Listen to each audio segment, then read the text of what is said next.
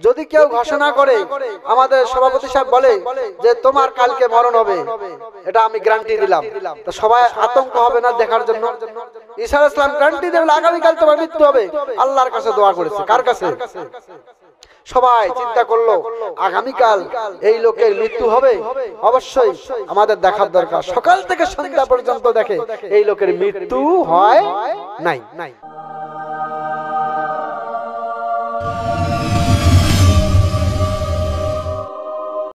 ছয় দিরাম যা বিক্রি করে, এইবার কিছু কিনবেন। হঠাৎ করে একজন ভিক্ষু এসে বলছেন, ও আল্লাহর বান্দা, তিন দিন থেকে খাই নাই আমি, কয়দিন থেকে? তিন দিন থেকে না খেয়ে আনারে আছি, আমার কিছু দাও। এইবার হযরত আলী রাদিয়াল্লাহু তাআলা চিন্তা করলেন, কি দিব, কত দিব? যা বিক্রি করলেন, সব আল্লাহ রাস্তায় দান করে দিলেন বলে, সুবহানাল্লাহ। আলী রাজি আল্লাহ চিন্তায় পড়লেন না। বলেন, আল্লাহ অবশ্যই রহম করবে। আল্লাহ রাস্তা আমি দান করেছি। এই বলে পথ চলতে থাকলেন। পথের মধ্যে একজন লোক এসে আলী রাজি আল্লাহ তালাকে বলতেছেন, আলী রে, আমার কাছে একটা উড আছে, বাকি চাইলে আমি বাকি দিয়ে দিয়ে দিব। বলে সুবাহান আল্লাহ আরও জোরে বলেন সুবাহান আল্লাহ বলেন, দাম কত? দাম হলো একশত দিরহাম যাও বাজারে বিক্রি করে যেটা বেশি হবে সেটা তোমার। আর যেটা একশো দিরহাম আমার তুমি ফেরত দিও। বলি সুবাহান আল্লাহ আলী রাজি আল্লাহ বাড়ির না গিয়ে বাজারের হলেন। বাজারে যেতে যেতে দেখে আরেকজন লোক এসে বলছে, আলী রে, উটটির দাম কত? তুমি বলো। এইবার আলী রাজি আল্লাহ বললেন উটটির দাম কত আপনি বলেন? এবার বলল, একশত ষাট দিরহাম দিয়া দিব বলে সুবাহান আল্লাহ বাড়ির আসতেছে। এসে ওই লোকের দেখা হলো। ওনার কাছে কত দিয়া কিনেছিল বলেন তো? দিরাম বলেন কত দিয়া? একশত দিরাম দিয়ে দিল। আর কত থাকল? ষাট দিরাম নিয়ে বাড়িতে এসে মা ফাতেমাকে জমা দিচ্ছেন। মা ফাতেমা বলল, অগো স্বামীদান, ওই আলী রে, বলতো, একটা চাদরের দাম কি ষাট দিরাম হয়? সুবহানাল্লাহ। আলী রাজি আল্লাহ কোনো কথা বলেন না। সঙ্গে সঙ্গে মা ফাতেমা বিশ্ব নবীর কাছে দৌড়িয়ে গিয়ে বলে, বাবা যান তোমার জামাই একটা চাদর ষাট দিরহাম দিয়া বিক্রি করেছে, এটা আমি বুঝলাম না, আমার একটু বলে দেন। বিশ্ব নবী বললেন, ফাতেমা রে, আমার জামাই আল্লাহর সঙ্গে ব্যবসা করেছেন বলে সুবহানাল্লাহ। মূলত চাদর বিক্রি করেছে কয় দিরহাম দিয়া? তাহলে এক দিরহাম মানে এক টাকা যদি কেউ দান করে, একটা নেকি যদি দেও আশা করে, আল্লাহ রাব্বুল আলামিন তার আমল নামায় 10টি নেকি লিখে দিয়া দিবেন, বলে সুবহানাল্লাহ। তার মানে এক টাকা যদি কেউ দান করে, আল্লাহ পাক তার ব্যবসার মধ্যে বরকত দিয়ে দেয়, কয় কয় গুণ? 10 গুণ বলেন, কয় গুণ? আরও জোরে জোরছে বলেন।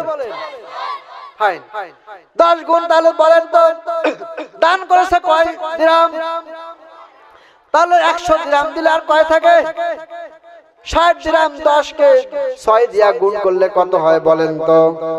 আল্লাহ রাব্বুল আলামিন বলেন, মান জাবিল হাসানাতি ফালাহু আশারু আমসালিহা।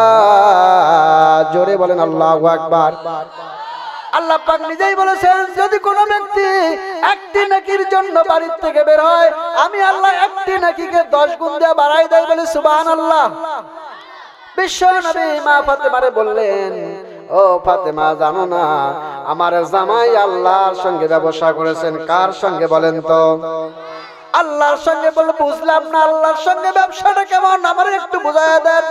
এইবার বললেন, শোনো, যখন আলী রাদিয়াল্লাহু তাআলা বাজারে গিয়া এই চাদরটা 60 দিন 6 দিন দিয়া বিক্রি করলেন, একজন ভিক্ষুক এসে সব ঘটনা তাকে জানাই দিলেন।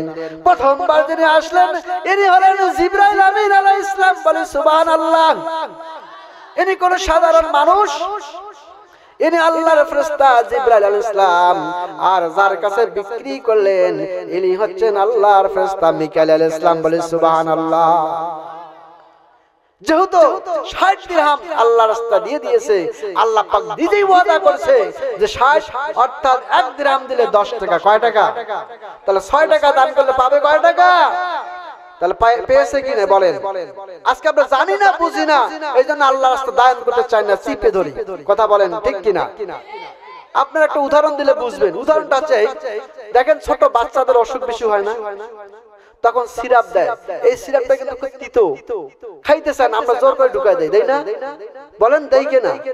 তার ক্ষতির জন্য দেওয়া হয় না লাভের জন্য দেওয়া হয়? লাভের জন্য না অসুখটা ভালো হবে। এই জন্য তাকে জোর করে খাওয়া না ঠিক কিনা? আজকে যারা আলেম ওলামা আছে, আপনাদের কাছে কিছু চাই জোর করে। এই জন্য চাই যে এক টাকা যদি আপনাদের কাছে নিতে পারে, পরকালে আপনার জন্য কয় টাকা জমা হয়ে থাকবে বলেন তো? আরও জোরে বলেন। আপনার একটা নেকি দিলেন আল্লাহ রাস্তায়, আল্লাহ পাক পরকালে দশটি নেকির ব্যবস্থা করে দিবেন বলে সুবহানাল্লাহ। এই পৃথিবীতে আমরা ভালো কাজ করি আর মন্দ করি, সবগুলোর হিসাব হবে কি নাই? যদি মন্দ করেন সেটারও হিসাব হবে, ভালো করলে সেটারও হিসাব হবে না নাই? যদি সেদিন হিসাবের সময় মুখ দিয়া মিথ্যা কথা বের করার চেষ্টা করি, আল্লাহ পাক মুখকে বন্ধ করে দিবেন, কথা বলেন ঠিক কিনা? সূরা ইয়াসিনের 65 নম্বর আয়াতে আল্লাহ বলেন আলিয়াউমা নাখতিমু আলা আফওয়াহিহিম ওয়া তুকাল্লিমুনা আইদিহিম ওয়া তাশহাদু আরজুলুহুম বিমা কানু ইয়াকসিবুন। জোরে বলেন আল্লাহু। আকবার। আল্লাহ পাক বলেন, বান্দারে দুনিয়া যা করবে মিথ্যা বলার চেষ্টা করো কি করে বন্ধ করে দাও হাত তার সঙ্গে কথা বলবে, পা দুটো তার সাক্ষী দিবে, দুনিয়াতে যা কিছু আমরা করব, সব পট পট করে বলে দিবে। কথা বলেন ঠিক কিনা? আজকে যদি এখানে বলা হয়, আপনারা যারা আসছেন, কিছু করে মসজিদের উদ্দেশ্যে দেন। মসজিদের আল্লাহর ঘরের জন্য কিছু দেন। দেখবেন কেউ খুশি হয়ে যাবে, কেউ মনে মনে মনটা বাঁকা করবে, কেউ উঠার চেষ্টা করবে আসে না নাই? আমি আপনাদেরকে বলব, কেউ উঠবেন না, দিতে না পারলে বসবেন, আর যদি সমর্থ হয় দিবেন, আর যদি সমর্থ না থাকেন, আল্লাহর কাছে দোয়া করবেন, আল্লাহ, আগামী দিন যেন আমি দিতে পারি, সেই ব্যবস্থাটা আমারে করে দাও বলে সুবাহান আল্লাহ তাহলে চাইতে হবে কার কাছে? আল্লাহর কাছে চাবো আল্লাহ রাস্তায় দিব কথা বলেন ঠিক কিনা? তাহলে আরেকটা ঘটনা বলে আমি শেষ করে দিব শুনবেন। হযরত ঈসা আলাইহিস সময় একজন মানুষ সে কি করত? কাপড় ইস্ত্রি করত। আর মানুষের কাপড়গুলো ধুয়ে দিত তাকে বলা হয় ধোপা কি বলা হয়? এই ধোপা করতো কি মানুষের নতুন নতুন কাপড়গুলো নিত। আর পুরাতন কাপড় দিত না হলে কাউকে বলতো নাই। লোকেরা অতিষ্ঠ হয়ে গেল, বিতৃষ্ণ আসে গেল। তার প্রতি মানুষের ঘৃণা পোষণ আসলো। কিন্তু তার অহংকার ছিল দাম্পিকতা ছিল। কি করা যায়? সঙ্গে সঙ্গে। মাশাআল্লাহ মাশাআল্লাহ। এখনকার মানুষেরা কত আল্লাহ পাক তাদের জ্ঞান দিয়েছে। আমি যেদিকে আলোচনা করতেছি, তার আগে মা বোনদের প্যান্ডেল থেকে চব্বিশশো পঁয়ত্রিশ টাকা দান করছে বলে আল্লাহ আকবার। লিল্লাহ তাকবীর। লিল্লাহ তাকবীর। চব্বিশশত পঁয়ত্রিশ টাকা মোটামুটি আদায় হয়ে গেছে। আমি আপনাদের কাছেও কিছু চাবো। আপনারা কি দিবেন না ভাই? আমার জন্য নয়। কার জন্য? আল্লাহর ঘরের জন্য। আপনাদের এই মসজিদে আপনারা নামাজ পড়বেন। এই টাকা দিবেন। আপনাদের এটা জাজাক আল্লাহ অর্থাৎ এই দানটা জমা থাকবে কথা বলেন ঠিক কিনা?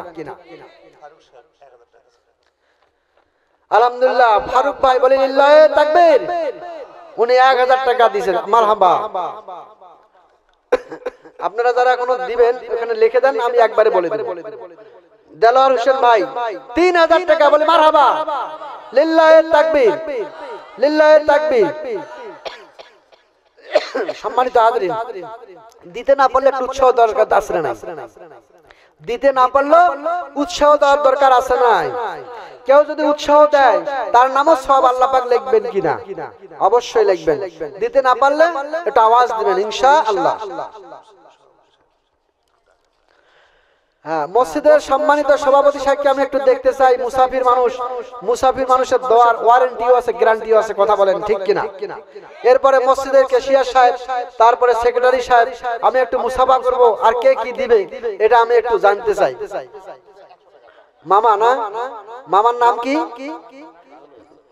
নাংরু থেকে আসছে মামা মার হবা দেখছেন? কত দূর থেকে এসে একশো টাকা দান করলাম বলে মার হবা আপনারা যদি কেউ দিতে চান ইনশাল্লাহ দেন এখানে। অল্প সময়ের মধ্যে মুনাজাত করে দেবো ইনশা আল্লাহ আসেন, দেওয়া শুরু করেন। আমি ইসলামের ঘটনা বলে শেষ করে দেবো। আপনারা এখানে লিখে দেন, আমি একবারে বলে দেবো কে কে দিল। আলাইহিস ইসলাম সময় এই যুবক করত কি? নতুন নতুন কাপড়গুলো মানুষের নিয়ে নিত। বুঝতে পারছেন? নতুন নতুন কাপড়গুলো কি করতো? নিয়ে নিত। মানুষরা অতিষ্ঠ হয়ে সালাম আপনি লিখতে থাকেন, আমি একবারে বলব। হ্যাঁ কি নাম কি নাম? গেদি। এক হাজার টাকা, দুই বস্তা সিমেন্ট। মহিলা না? একজন মা, মহিলা। উনি দুই বস্তা সিমেন্ট, এক হাজার টাকা। বলে, লিল্লাহে তাকবীর। লিল্লাহে তাকবীর। তা ঈসা আলাইহিস সালামের সময় লোকেরা তখন ঈসা নবীকে যে বিচার দিল, যে হে আল্লাহ নবী এই লোকটি আমাদের কাপড়গুলো নিয়ে যায়, আমরা তার অত্যাচারে। পাঁচশো। এনামুল ভাই পাঁচশো টাকা, বলে আচ্ছা আব্দুল বাসন ভাই একশো টাকা, বলে মারহাবা। আচ্ছা আমি দানের আর একটু করব, এই ঘটনাটা শেষ করে। তারপরে আমি দানের দিকে যা মুরাদাত করে দেবো। আপনারা কেউ যাবেন না তো, ইনশা সম্মানিত লোকেরা সবাই চলে গেল ঈসা নবীর কাছে। কার কাছে গেল? ঈসা নবীর কাছে গিয়ে বিচার দিচ্ছে যে এই ধোবা নতুন নতুন কাপড়গুলো নেয় আর দেয় না, অস্বীকার করে। আপনি তার ব্যবস্থা করেন। বললেন, ঠিক আছে, আমি আজকে আল্লাহর কাছে দোয়া তার মৃত্যু হবে। কি হবে বলেন তো? তা আগামীকাল কি হবে? যদি কেউ ঘোষণা করে, আমাদের সভাপতি সাহেব বলে যে তোমার কালকে মরণ হবে, এটা আমি গ্যারান্টি দিলাম। তো সবাই আতঙ্ক হবে না দেখার জন্য। ইসার ইসলাম গ্যারান্টি দেবে আগামীকাল তোমার মৃত্যু হবে। আল্লাহর কাছে দোয়া করেছে। কার কাছে? সবাই চিন্তা করল আগামীকাল এই লোকের মৃত্যু হবে? অবশ্যই আমাদের দেখার দরকার। সকাল থেকে সন্ধ্যা পর্যন্ত দেখে এই লোকের মৃত্যু হয়? নাই। নাই। সবাই চলে গেলেন ঈসা ইসলামের কাছে। গিয়া বলবেন হে আল্লাহ নবী ঈসা আপনি না দোয়া করলেন? লোকটি মৃত্যুবরণ করবে লোক তো এখনও আছে? তাকে ধরে নিয়ে আসো। তাকে ধরে নিয়ে আসা হলো। এইবার লোকটিকে প্রশ্ন করা হলো হে আল্লাহর বান্দা সত্যি করে বলবে আজকে তুমি কি আমল করেছ? এই লোকটি তখন বলল আল্লাহর নবী আমি তেমন কোন আমল করি নাই। সকাল বেলা যখন আমি বের হলাম আমার বাড়িতে তিনটি রুটি ছিল, বলেন তো কয়টি?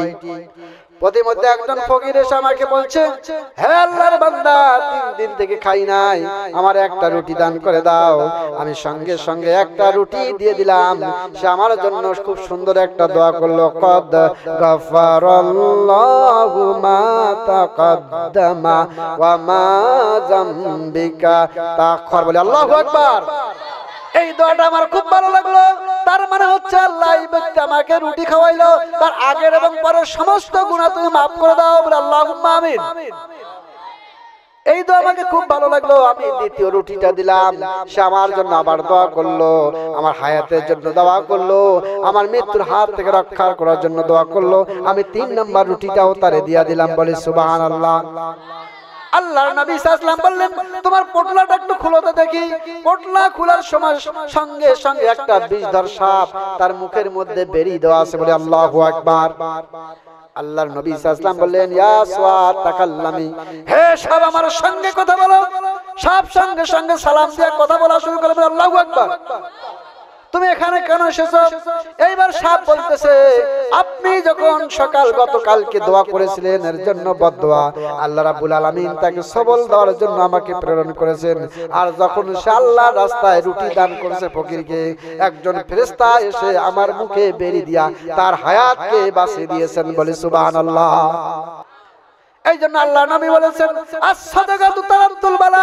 যদি কোনো ব্যক্তি আল্লাহ রাস্তা দান করে তার সদকা হিসাবে, তাহলে তার তাম জিন্দগির গুণা খাতা তো মা ভাবে তার সমস্ত বালা মুসিবতগুলো দূর হয়ে যাবে বলে সুবাহান আল্লাহ মুসার ইসলাম আল্লাহ পান্নবুদের দায়িত্ব দিলেন। এদিকে ফ্রাউন গোমরা হয়ে গেছে ভ্রষ্ট হয়ে গেছে। আল্লাহ রাব্বুল আলামিন মুসা ইসলামকে বললেন, ইজহাব ইলা ফিরআউনা, ইন্নাহু তাগা। জোরে বলেন আল্লাহু আকবার। আল্লাহ পাক মুসা ইসলামকে বললেন, মুসা, গাট্টি গুট্টি গুসা প্রস্তুতি নাও, ফেরাউনের দরবারে যাও। কার কথা? আল্লাহর কথা। এইবার মুসা ইসলাম বলছে, আল্লাহ আমি তার সঙ্গে কেমনে দিব পাল্লা? আল্লাহ পাক বললেন আল্লাহ, আমার ভাই আছে একটা হারুন, আমার দোয়া কবুল করুন। এইবার আল্লাহ পাক মুসা ইসলামকে বলল, হে মুসা, প্রস্তুতি নাও, ফেরাউনের দরবারে চলে যাও। জোরে জোরে বলে আল্লাহ আমিন। আল্লাহ, আমার তো কোনো শক্তি নাই, পাওয়ার নাই, কি করব? আল্লাহ পাক বললেন ওয়ামা তিলকা বিয়ামিনিকা ইয়া মুসা হে মুসা, তোমার ডান কি? ইসলাম বলে আল্লাহ লাঠি আছে মাটি, হাতে আছে লাঠি, ছেড়ে তো দেখি। সঙ্গে সঙ্গে ছেড়ে দিলেন হাইয়া তুম বিশাল একটা কি হয়ে গেল? লাঠি কি হয়ে গেল? অজগর সাপ হয়ে গেল। মুসা ইসলাম দেখলে ওরে বাপ এত বড় অজগর সাপ। আমার বংশ করে দিবে সাপ আমার হবে না মাপ। আল্লাহ পাক বললেন মুসা ভয়ের কোনো কারণ নাই। খুশ ধরো। সঙ্গে সঙ্গে ধরলেন আবার লাঠি হয়ে গেলেন। জোরে জোরে বলেন সুবাহান আল্লাহ এইবার মুসা ইসলামকে বলেন, যাও এবার। ফেরাউনের দরবারে যাও। যখন সে বাড়াবাড়ি করবে, হাতের লাঠিটা দিবে ছেড়ে, এমনিতে তোমার ভয় পেয়ে যাবে। মুসা ইসলাম আর ঠিক- থাকলেন না। এবার তার ভাইকে নিয়ে মুসা ইসলাম চলে গেলেন। ফেরাউনের দরবারে, কার দরবারে বলেন তো? বিশাল হুঙ্কার দেওয়া শুরু করলেন। মুসা ইসলাম বললেন, ফেরাউন ফেরাউন কয়েকের এত বড় সংস্কার। আমার নামে দেয় হুঙ্কার। কে বলেছে? ফেরাউন। কে বলল? ফেরাউন বলছে এত বড় সংস্কার আমার নাম ধরে দেয় হুঙ্কার। কান পাতায় শুনে পড়বে বাপ এই তো তারে হুঙ্কার। ছোট্ট বেলা বাম হাতের থাপ্পর খেয়েছিলাম যার আওয়াজ যা বলে সুবাহ আল্লাহ